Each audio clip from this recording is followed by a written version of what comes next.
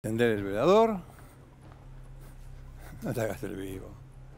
No, escúchame, eh, esto es un programa de televisión. Eso es así. No, no- estamos en el castillo de Harry Potter. Basta. Quédate ahí. Listo, se terminó. Por favor. ¿Qué, qué es esto? A ver, ¿qué es esto? ¿Qué tenés? Un pañuelo en el bolsillo. Vos no tenés saco porque estás muerto. A ver si entendés. Estás muerto. ¿Cómo va a tener acá? Dios me libre. No tenés car, no tenés. eh, Me lo llevo yo. Porque a vos no te sirve esto. Bueno, vamos a contar la, la historia del sillón. Ay, Dios. Entre la lámpara y el, el que te. Bueno, eh, el asunto es así. ¿Le doy el título de entrada? Espere, vamos a hacerlo así. Vamos a hacer más fácil porque en esta época del año uno está comiendo de más, entonces. Bueno, este. Comiendo turcos. Comiendo turcos, sí. Resulta ser que en el año 1909 se produce una primera denuncia en la provincia de Río Negro. ¿Qué es lo que denuncian en Río Negro? En el departamento del Cuy, ahí en el centro de la provincia de Río Negro. Denuncia que el mercachifle que andaba todo el tiempo dando vuelta por ahí, mercachifle se le decía a los descendientes o a los este, ciudadanos, las personas sirio-libanesas que venían aquí a la Argentina y le decía, acá en Argentina se le decía este, popularmente, se los llamaba popularmente turcos. ¿Verdad? Eran sirio-libaneses, pero bueno, le decían turcos. Este, aunque no tuviese nada que ver con Turquía, pero bueno, turcos. Había desaparecido. Sí, bueno, desapareció un mercachifle. Un mercachifle, andaba por la calle, vendía de todo un poco, qué sé yo. Este, a nadie le preocupó esta primera denuncia del 15 de abril del año 1909. Pero claro, empezaron a, sumarse las denuncias. Che, no solamente en el Cuy, sino en otras eh, localidades, regiones de Río Negro, ¿eh? de la Patagonia Norte. Este, che, acá también desapareció un turco. Y allá también desapareció un turco. Cuando se quisieron avivar, había entre 60 y 70 denuncias de turcos mercachifles que habían desaparecido. ¿Dónde están estos turcos? Pero el asunto fue tal, la repercusión, ya en 1909, de boca en boca, qué sé yo, pasó un montón de tiempo, pero el asunto es que llegó hasta oídos del gobernador. El gobernador dijo, pero no puede ser que desaparezcan los turcos. Esto, esto fue así, ¿eh? Esto no puede, ser que desaparezcan los turcos. ¿Cómo van a desaparecer los turcos? Entonces el gobernador le dice al jefe de la policía, che, ¿te podés ocupar del tema de este, de que hay un montón de denuncias, de que para, para aquel entonces 50, 60 denuncias era una barbaridad? Eh, eh, eh, desaparecen los, los- los turcos que andan por la calle vendiendo peine peineta y todo eso. Sí, cómo no, jefe de policía. ¿El jefe policía qué hace? Como siempre, ¿no? Era ley del gallinero, llega hasta el comisario. Gobernador, jefe de policía, le agarra un comisario y le dice al comisario José Torino, che, Torino, escuchame una cosa, ¿por qué no te dedicas a, a ver dónde- qué pasó con estos turcos que desaparecieron? Desaparecieron los turcos. Torino dice, justo a mí me viene a agarrar esto, que lo tiró de la pata. Dice, ¿Qué sé yo dónde están los turcos? Bueno, empieza a ver el hombre, ya sí, va a ver los expedientes, eh, reúne, en realidad no reúne, sino que viaja a diferentes localidades para ver los expedientes, eran alrededor de eh, 70, como le decía antes, de 60 a 70. Y ven que sí, los habían visto por última vez en tal lugar, en un tal paraje, este, que se habían encontrado algunos elementos eh, tirados por el camino, ahí en los descampados, eh, pero de ellos no se sabía nada. De lo que había pasado no se sabía nada. Hasta que, hasta que Don Torino, eh, el comisario, tiene una, una ayudita. Resulta que un día viene un muchacho de 16 años, un pibe de 16 años, este, llamado Juan Aburto. Juan Aburto. Era hijo de un, de un indio, un indio, un mapuche. Llega, va a la comisaría y dice, el pibe de 16 años, este, buenas, buenas. ¿Qué haces vos acá, nene? No, no, eh, yo, yo sé lo, que pasó con los turcos. ¿Cómo que sabe qué pasó con los turcos? Sí, sí, sí. Yo sé qué pasó con todos los turcos. ¿Y, qué pasó con todos los turcos? Lo llamaban a Torino, enseguida Torino vino, fue este, a, a escucharlo a este pibe.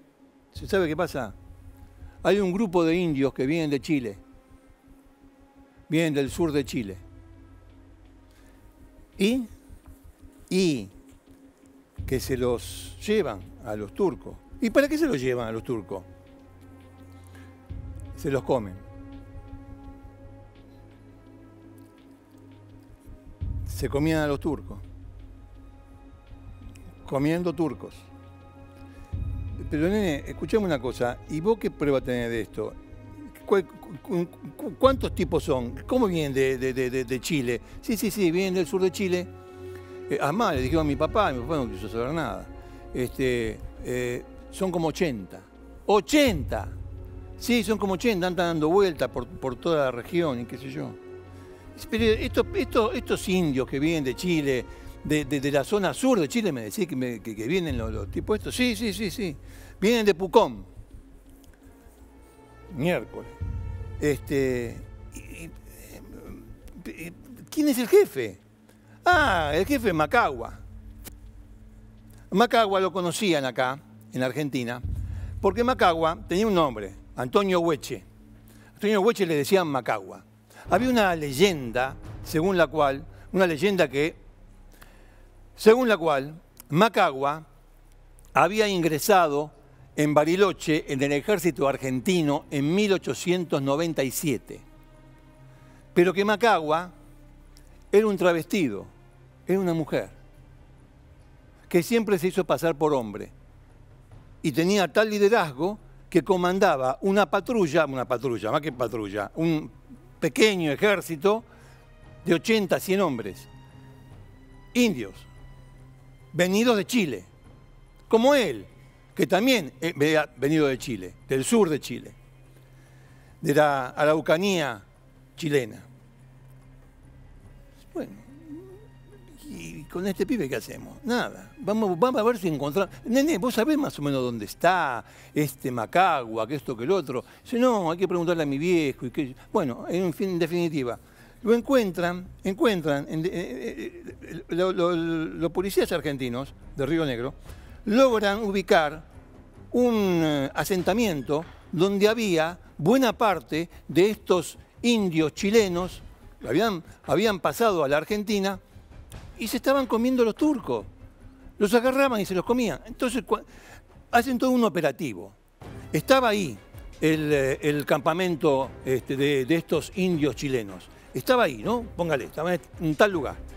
Rodean toda la zona y de a poco los, policías argentinos al mando de Don Torino van bajando, estará como una hondonada, ¿no? Van bajando y se van acercando y aparecen a la, primera hora de la mañana.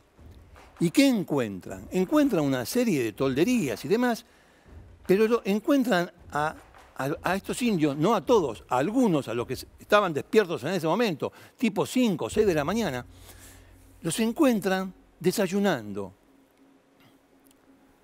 ¿Qué estaban desayunando? Turcos.